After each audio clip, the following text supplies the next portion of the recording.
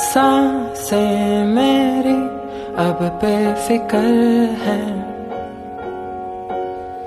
दिल में बस कैसे ये पल है? बातें संभल जा रही हैं।